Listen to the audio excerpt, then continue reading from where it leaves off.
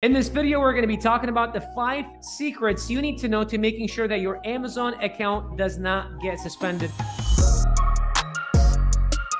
Those of you that are new to the channel, welcome. My name is Bashar Katou. I'm the founder of BJK University, an education company with a mission to impact 1 million lives. I remember when I was first starting out as an Amazon seller seven years ago, one day I went into my Amazon seller's account and I saw this red, you know, alert on the left top of my screen. And it just simply said that, you know, my account might be getting suspended. And I remember freaking out, just literally like losing it. Didn't even know what was going on, didn't know why, didn't know what's happening. And in this video, we're to make sure that you never see that alert because trust me, it's not something you want to start your day with. So what I want to do is I want to talk to Lorraine, who is one of our coaches, and and she, you know, she works with hundreds of our coach uh, with our students every single day, and she's going to walk us through the five things that you must know to making sure your Amazon account does not get suspended. If your Amazon account gets suspended, your Amazon business is done. And it's literally nearly impossible for you to get reinstated. So, Lorraine, why don't you go into what is the number one thing that they need to know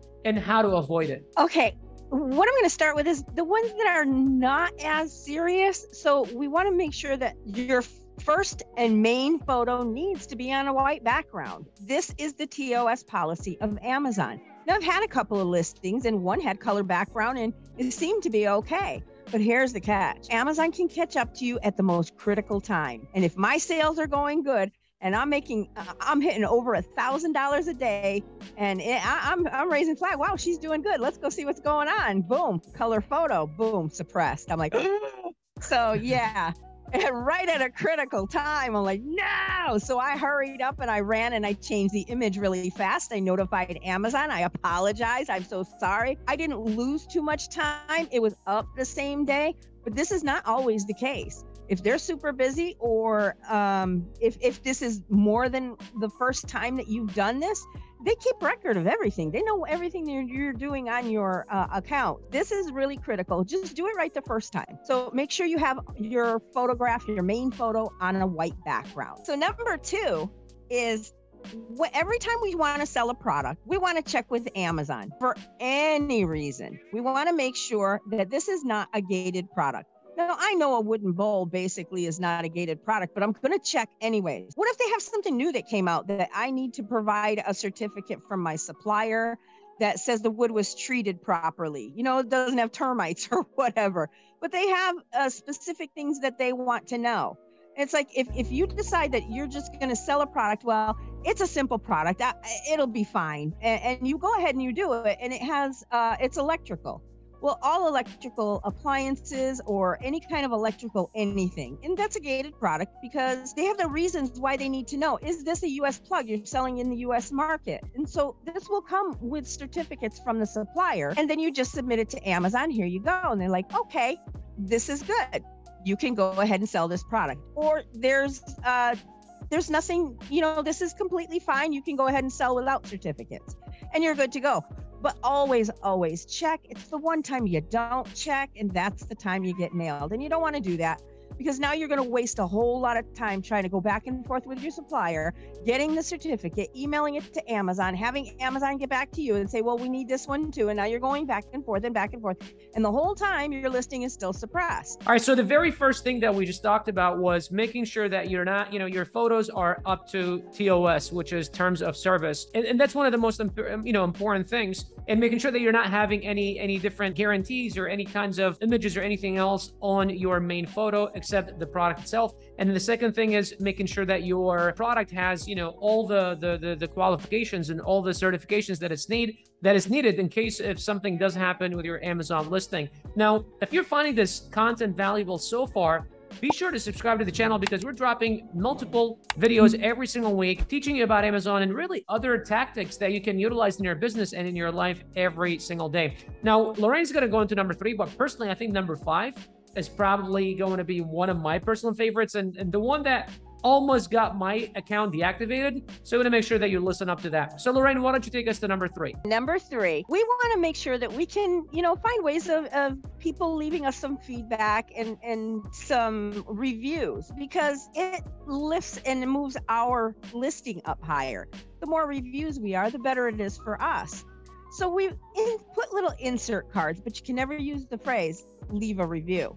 But you can ask them, how about sharing your experience with us? And, and you can put this on your insert card. But what you cannot do is put other web- websites on there. Don't put your personal website. Don't send them over to um, either Instagram or eBay, another website, Shopify, where you're selling it, thinking you're going to get over on Amazon. Because, well, if I can get them over here, I can sell them my product from my website without a fee, you know, or maybe it will link back and you have people go into all different websites and things like this. Amazon does not like you sending people somewhere else. And if you think you're going to get over because it's stuck in your package and nobody can see it, well, guess what? Occasionally you will get a return. I mean, I don't know anybody who hasn't had at least one return. And when it does return to Amazon, they're going to check it to see if they can sell it for you. Is this sellable or do we need to have you have it shipped back to yourself or destroyed, whatever you want to do with it? It's your decision. But they're going to open it and they're going to see it. And that's going to cause an automatic suppression. You know, that's not an innocent thing. You know, they're talking you're talking about taking money away from amazon they take this very seriously number four now this is very serious and we have seen this happen to some of our students but we corrected it right away the best thing for you to do when you're on amazon is get brand registered always get work your hardest to get brand registered get a trademark get it brand registered and get your brand protected. If not, you're generic just like everybody else. Somebody can come along and hijack your listing and then theirs shows up. But if their product is really bad and their people are buying it thinking it's yours and they get bad reviews, guess what? It goes onto your listing. And this is what they call hijacking a listing. But if you are brand registered and you have a brand with a serial number, Amazon will give them the boot. And chances are they will lose the ability to uh, have a website on Amazon because this is very serious. You're playing around with somebody else's money you're messing around with Amazon's website itself, you can't do that. You know, so never think that you can get over and say, well, this guy's selling really well. What if I hijack his listing for a little while? Well, he sees it and reports it to Amazon, and guess who loses the ability to sell on Amazon again? Is it worth it for a few dollars? It definitely is not. Now, I know some of these things, you know, sound like common sense. And if you are not an Amazon seller, you might be thinking, well, absolutely, I would definitely do these. But you see, when you're building a new business, when you're growing, you're not really thinking of these things. You're focused on finding products, launching products, finding products, launching products.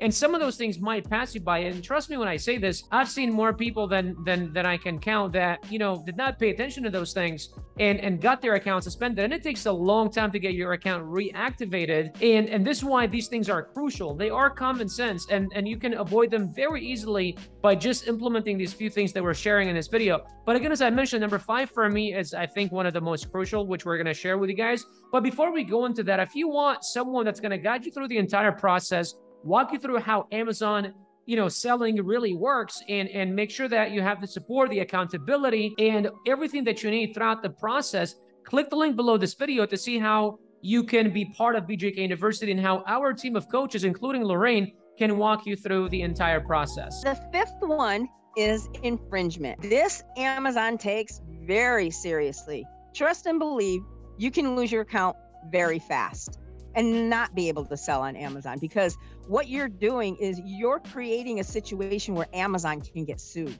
Everybody can sell coffee on Amazon. Anybody can sell coffee. Coffee is just a generic product. You will need certificates, of course, because it's FDA and it's food, but not a problem. But if you try to put things in your listing like Starbucks, Starbucks is a brand name. Starbucks is a big company. Even if you're trying to get creative, we're better than Starbucks. So you're going to try to use the word keyword Starbucks to get people to come to your coffee, but you've used their word, their keyword, their this is infringement. You're infringing on their product no matter how you look at it. You cannot use what somebody has either patented or trademarked. You don't you want to stay far away from this as possible. And we always can check that. We check on USPTO for either patent search or we check trademark before we do anything. Amazon doesn't take lightly that you're possibly causing a lawsuit to them. Now, people are always trying to sue Amazon all the time, but if you're the cause of it, then you definitely don't belong here. So they're going to take it extremely serious. So when you see some of these red things, um, uh, talk to. If you're here with us, talk to us, show us what you have, and we'll help you get through it. But if it's one of these more serious things, now you're talking legal. You're going to need some legal action to be to help you get out of this one. So to avoid them, just don't do them. Don't put yourself in a situation where it's going to cost you more money than it's worth. So as you saw, some of these things are pretty serious and and and you know, real serious harm can happen from them. And this is why having professional help throughout, you know, the process of starting a new business, especially that you've never done a business before is really crucial. And and you know, some of them can really save you days, weeks, months and and some years and not you know not to consider all the, the the hassle and all the money that is involved which is why bjk university exists. So if you want us to walk you through how this entire thing works and how you can be part of it click the link below this video to learn how you can be part of bjku and how our coaches can help you. But outside of that hope you guys found this video valuable. We'll see you in the next video. Have a good day